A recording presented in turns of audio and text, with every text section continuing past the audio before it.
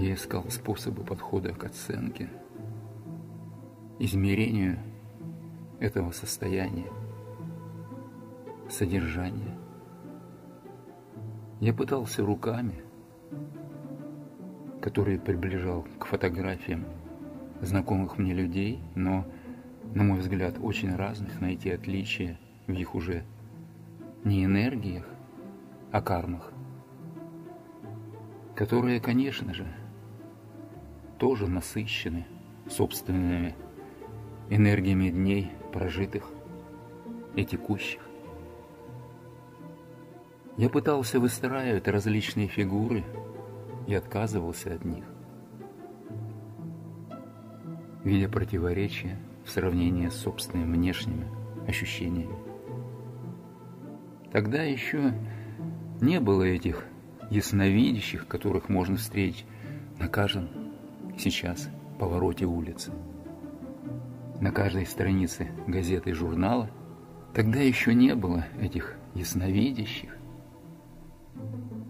которых можно встретить на каждом повороте улицы, на каждой странице газеты и журнала. Тогда никто еще не мог опрокинуть мою уверенность и веру в то, что я смогу во многом разобраться в том, о существовании которого многие даже и не подозревали.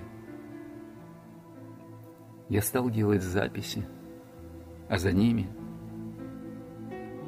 создавать дневники, в один из которых вносил только послания, направленные свыше.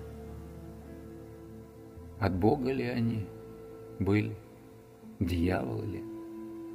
Я не знал, но даже часто просыпаясь, я записывал, будто под диктовку то, чего ждал, что слышал, а чаще не слышал, а принимал по буквам, по словам. Прошло уже достаточно много времени, чтобы сказать о том, что это было не из разряда помешательства, доносилось не из уст черных сил, тем более не из мира белой горячки, ибо никогда я не увлекался пристрастием к распитию спиртных напитков. Я просто понимал, что залез туда, о чем ничего не знал, ничего не слышал, ничего не читал. К тому времени трое слушателей из моей группы, из числа многих тех, которые после получения диплома поставили оказание помощи больным на коммерческий поток, уже ушли из жизни. А у меня единственное из них уже было два диплома и статус второго был на порядке выше первого. Мое окружение стало беспокоиться за меня, так как я уже получал весточки о собственном нездоровье которое мне вовремя удавалось поправлять, корректируя, отступая, избирая другой путь к познаниям. Я понимал, что меня с завязанными глазами и отсутствием даже небольших знаний продолжают вести, где-то запрещая, а куда-то и вовлекая.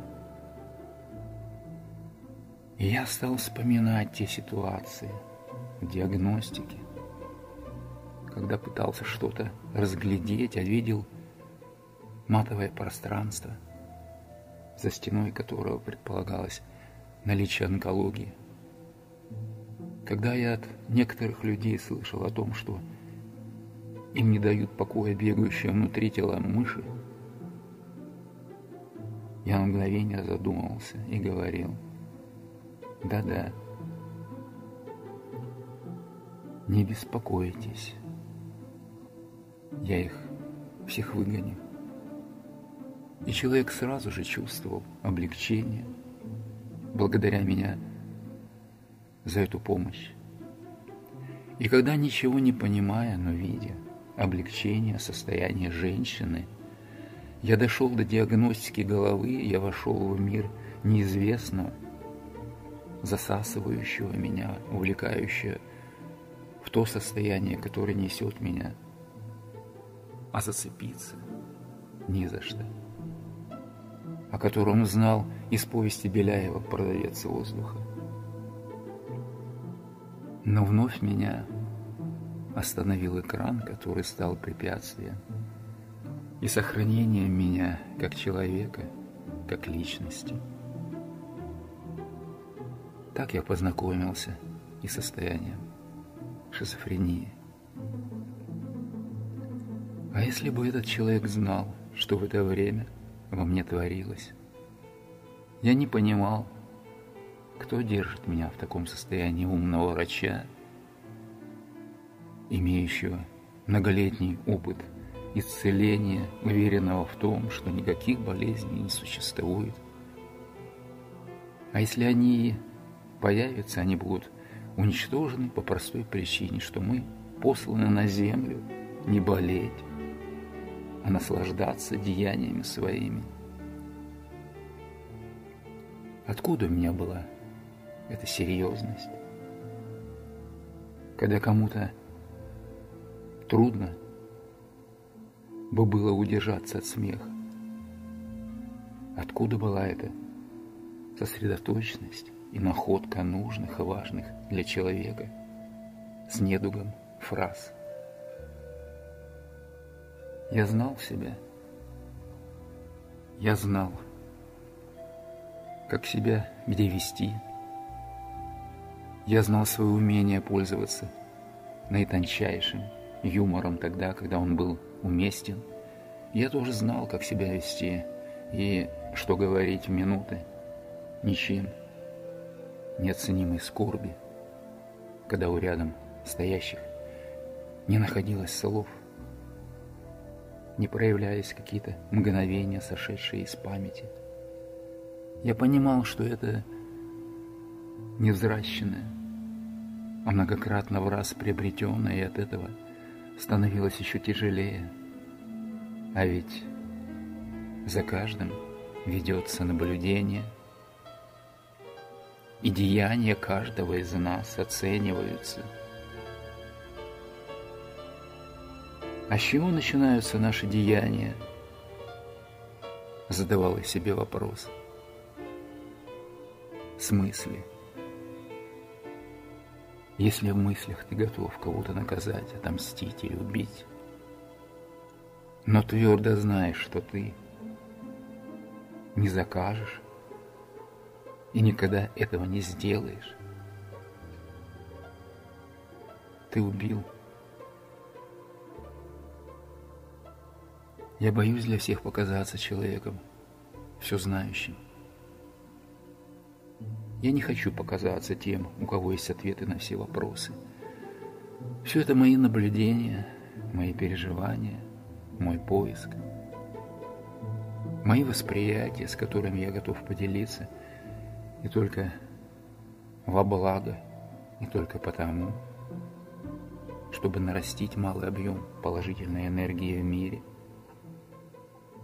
которая бы обрела силы стать домокловым мечом, висящим над негативной. Так много тайн у тех, кто много говорит о своих способностях на воротах во всем, в одежде, словах, терминах, всевозможные атрибутики, побрякушках, висящих на них, животных, которых они притаскивают на раскрытие причин и понимание следствий. Запомните навсегда, тот, кто много умеет, кто много знает, кто больше всех в чем-то преуспел, тот доступнее для общения, тот всегда на своем лице несет печать, не знания, но не сомнения. Любой настоящий гуру, наставник, учитель, мудрец просто в одежде в рассуждениях и объяснениях притягателен простотой своей. Он никогда ни единым словом, ни единым движением не даст понять вам то, что он в чем-то выше вас. Ни единым намеком он не даст вам ощутить важность своей персоны. Присматривайтесь к людям, анализируйте все, внешне не выказывая свое в том любопытстве или желание понять, с кем вы имеете дело. Отвергайте всех ряженых, излишне образно говорящих с вами. Процеживайте, сортируйте, фильтруйте, и тем самым вы не усугубите состояние своего эго тем, что в качестве очередного помогли дать дальнейшее развитие силе зла. Да-да, мы уже давно говорим о карме. Давно уже мы погружаемся в непознанное нами, совсем еще неосознанное, а мне уже давно в определенной части знакомое. И чувствуете ли вы из группы тех, кто знает мою витиеватость фраз в стихах ли, в переписке ли с вами, какие силы я трачу на то, чтобы максимально просто донести до вас все мною собранное и накопленное. И при этом не показаться вам очередным все знающим болтуном, говорящим о высших материях. Меня сейчас ведут. Я ничего не планирую, я не знаю объема головы, посвященной карме, только потому, что таковую под названием «Что такое карма?» в своей чистоте вы ее не обнаружите. Это состояние, понятие будет теперь постоянно находиться с вами в качестве проводника по всем моим рассуждениям, и только потому, что, на мой взгляд, по глобальности она соответствует глобальности понятия и состояния нет несчастья. Любовь, а значит вновь Бог. Я так изматываю свою энергию, стараюсь вбивать суть в каждое написанное слово, в каждое сказанное слово. Когда я все стал видеть, ощущать других и искусство, обаять собеседника – и попытки заворожить его к себе внимание правдами и неправдами с помощью всякой словесной мишуры, дабы достичь определенной цели и чаще всего корыстной для себя. Я долгое время не мог общаться с людьми. Ко мне приходили, а я им не верил. Ко мне приходили с предложениями о сотрудничестве, а я в этом сотрудничестве видел угрозу для наращивания производства и чистоты общества, не заключая со многими ни договоров, ни союзов. Я вел собеседование с претендующими на занятия вакантных должностей, как в своей службе, так и в структуре руководства предприятием, когда я пребывал еще и в должности председателя совета директоров. По непонятным для многих причинам я корректно отказывался от услуг многих специалистов, пройдя дополнительно ко всему уже и через политические войны за выживание моего комбината, которого во благо себе группка людей намеревалась бросить на стол распродажи, подводя его под банкротство. Я все сделал для того, чтобы через собрание акционеров поочередно за два года сменить трех директоров. И вот этот поиск новых кандидатур настолько обогащал меня находками своими, способными более точно оценить мир каждого человека, что я нашел для себя систему. Свой, чужой. Она прошла такую проверку и так себя предо мной уже зарекомендовала, что я уставший от поисков. На выдохе спокойно опустился в простое, удобное и уютное кресло, для которого недоступен мир иллюзий, серьезных ошибок, испытание горечи от того, что так бездарно потеряно времени. Я промолвил, а я нашел эту меру. Я стал видеть человека. Я стал видеть его суть в совсем ином, в недозволенном, скрытом им от меня и людей – ракурсе. Я нашел для себя меру отсчета, сравнений. Я называл это видение кармы.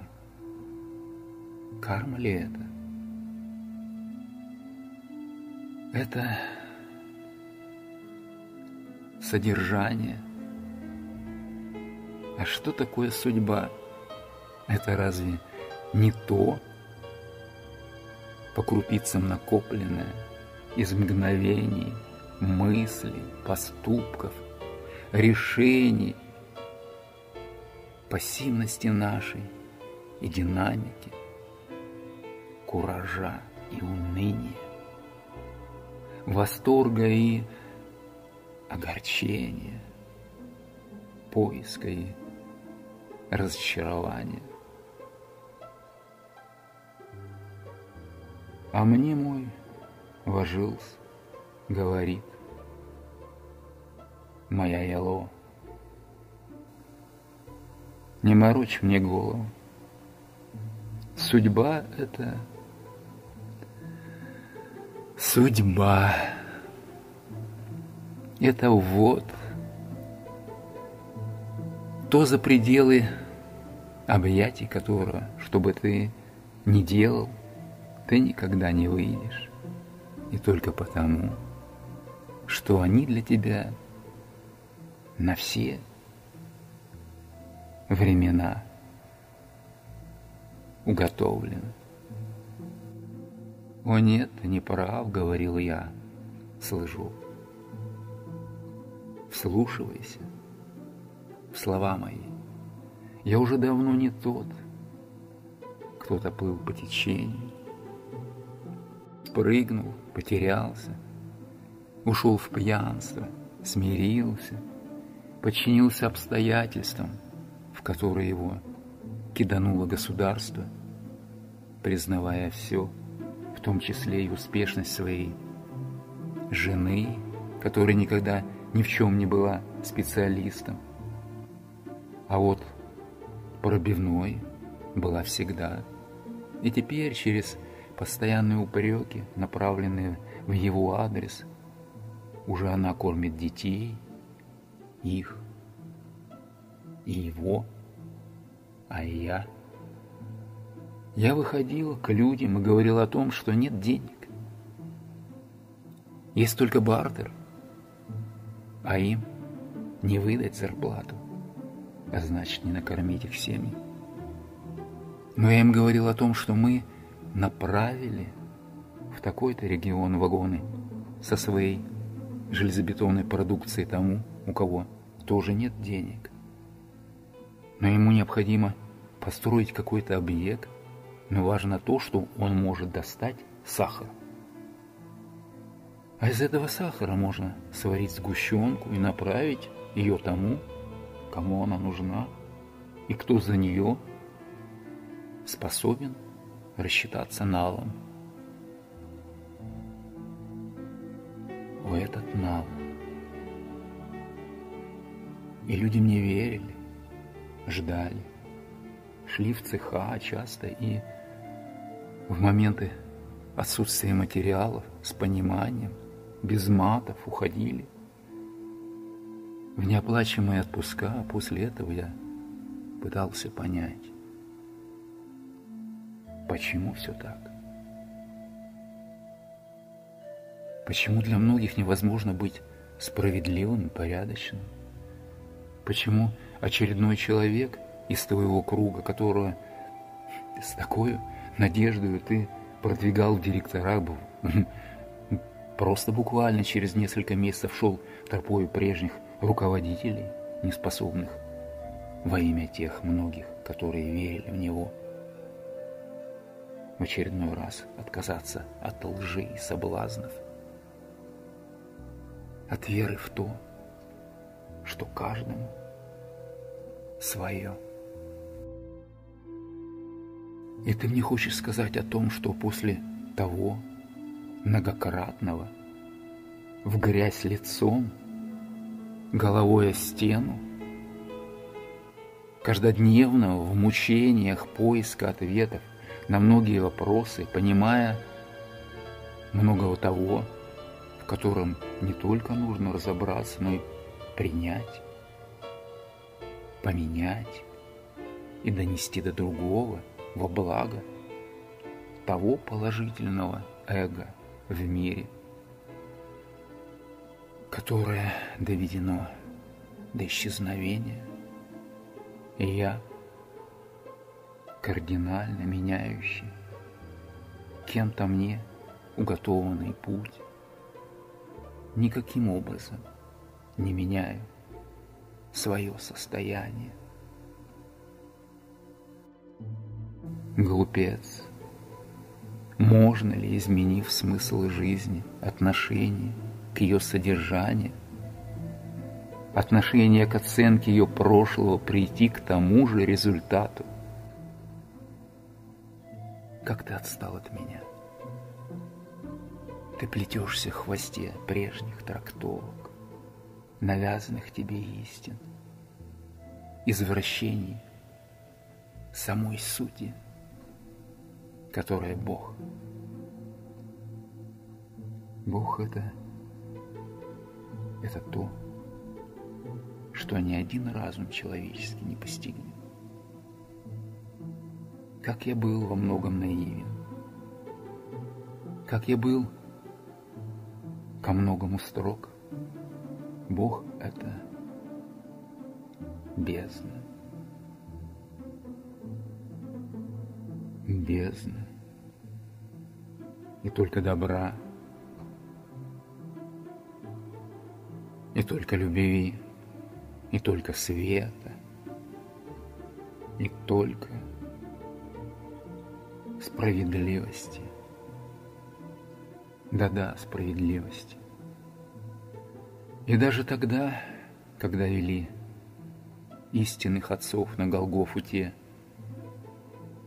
во все верующие, все знающие, кто был ничем, а стал всем, но всему бездумно подчиняющиеся. И тогда, когда сторона моя кровью харкала от распри, всемогущество сил — черноты и топи. И тогда, когда он позволял внедрять в соборы и церкви агентов, главных управлений, да сочувствующих кровавой власти. И тогда, когда позволял одному писать доносы на другого, а до этого дал всем возможность, кого не уничтожили, как Столыпина. А остался предать царя и развалить тем государство. И тогда, и тогда, и тогда. А ведь все они поплатились сами себе, уготовывая финал, судьбу себе создавая, меняя собственную карму. И у всех все по-разному. Для кого-то такая же, как им кому-то учиненная скорая смерть, для кого-то душевные пытки, для кого-то повседневный, долгий, игулкий страх пред возможным возмездием. Познавший единственный раз голод, да такой, когда попавший в кастрюлю любимый котенок отвел его жизнь от смерти, никогда не расстанется с мыслью, а почему во всем такое расточительство. Только через потрясение, порой силой, превышающего девять и более баллов, начинает отстукивать секунды, пребывающие долгие годы и десятилетия во сне, спящие сознание. Все на крови, все на ошибках. За каждой строкою инструкций по охране труда и техники безопасности покоятся жизни в другом измерении. А что же тогда? стоит за глобальное, за глобальное.